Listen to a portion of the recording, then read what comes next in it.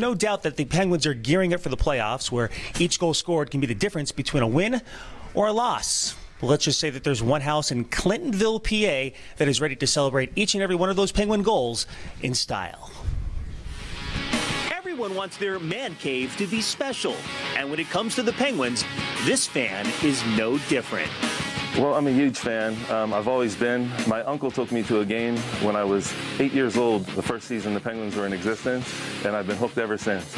Over the years, Rick has acquired more than a few items that would be of interest to any die-hard Pens fan. And for the last 20, he has not acted alone. In 1991, not only did we get married, but the Penguins won their first Stanley Cup. And when I look back at 1991, my marriage still ranks a close second to that Stanley Cup. You might want to get a shot at the couch. That's where I'll be sleeping when my wife sees it. Bonnie probably joins in on the fun on game night. But even with all this, something was missing. I used to have a cheap replica light. And with all this stuff I have in here, when people would come over to my house to watch a game, I would have to manually light the light. And people would talk to me the next day, I can't believe you have a goal light. I can't believe you have a goal light. And I'm like, that's like a $10 goal light changed when items at Mellon Arena went up for auction a few months ago. I wanted to limit it to the hat trick. I thought if I get a turnstile to enter my room through, seats to sit in, and the goal light to go off, that would be good enough for me because the more I look, the more I want it.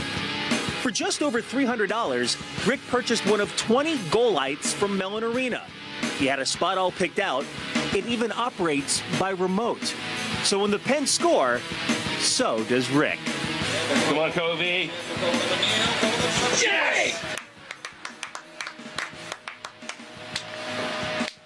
I, I contacted someone from the auction who was nice enough to tell me that um, the way he cut it down, if I knew somebody that knew something about electricity, that they should be able to get it working. So I have a lot of good friends at work, and they were able to take care of me. And uh, so, yeah, that kind of put my mind at ease, especially the first time I lit it. It was just like, wow, this is special.